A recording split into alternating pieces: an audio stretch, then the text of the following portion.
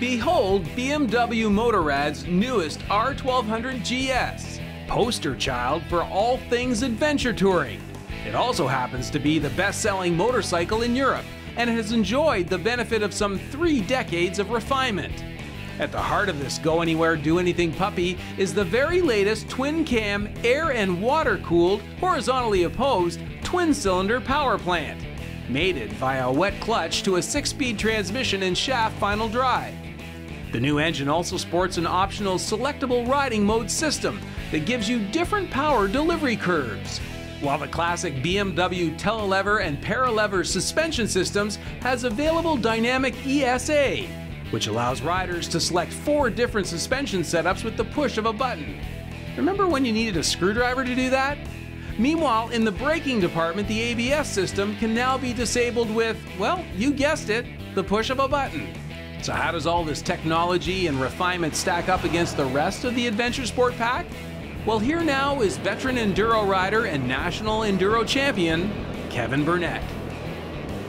So, Kevin, we're all familiar and we know very well the, uh, the old air-cooled GS. This is the new liquid-cooled GS. What was your first impression when you saw it this morning? Was how neat and tidy they've managed to make it. Uh, they've gotten rid of all these loose items that were hanging out in the breeze before and they've tucked them away nicely. Even before you notice that it's actually liquid, you notice they've tidied it up.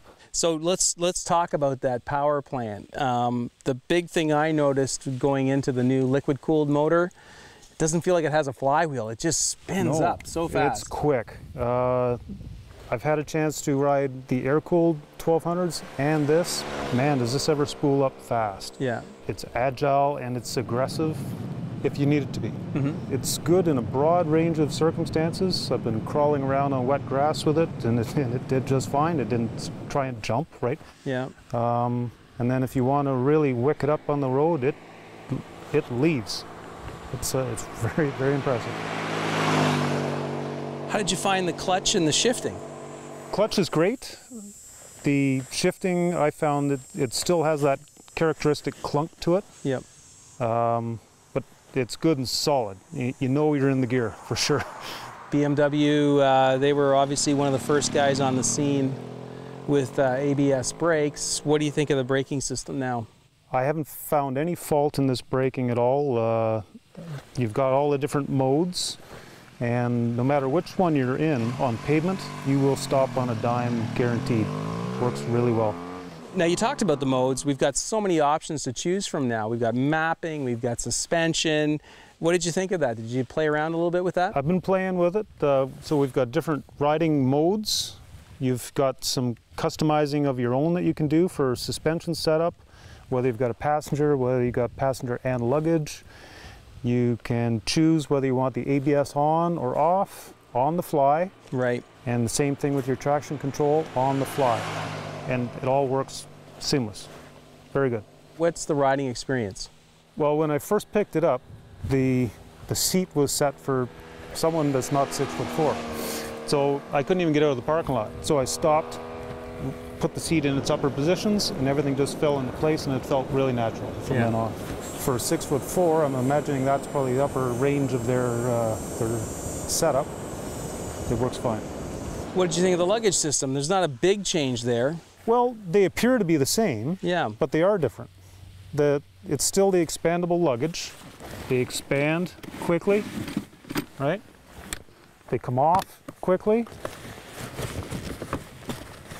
and it leaves no framework behind, right? You normally have to pay extra to get that sort of rigging.